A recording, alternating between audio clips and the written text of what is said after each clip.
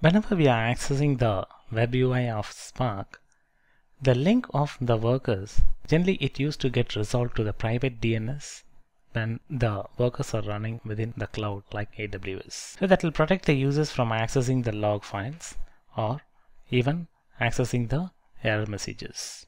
To avoid that, as a part of the configuration file within the conf folder, you will have a Spark template environmental file. Create the environmental file spark-env.sh and add a property called Spark Public DNS.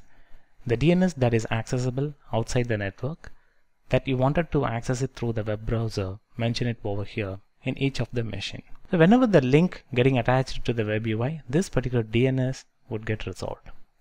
So now I have the master, I have a number of workers.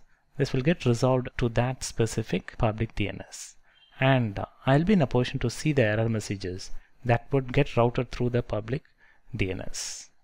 Let me access the completed application, the Spark Pi. I'll be in a position to see the error message. If I doesn't provide this particular setting, the Spark public DNS, the link will automatically get resolved to the private DNS and the private DNS will not be accessible the outside world. Now I'll be in a position to see the output of the individual workers. I have the output. Now I can check the output of the other worker as. In case if the application is submitted in the cluster mode, the driver would have got executed within the server as well. The logs for the driver will also get logged and uh, it will have the information on what are all the completed drivers in which worker machine that got executed. On clicking of that I should be in a position to see the details about what are all the executors and where it executed that particular job and the log file for that particular driver as well. So here the value of pi is logged against the driver.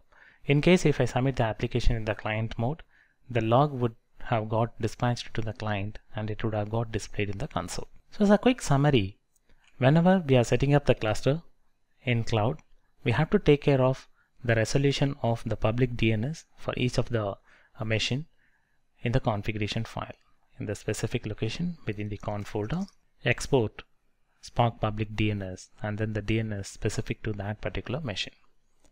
Or otherwise, every log file, it will give error message saying the DNS is not reachable. The workers, the applications, all it will be giving the error message the DNS is not reachable. By default, it will be resolving to the private DNS.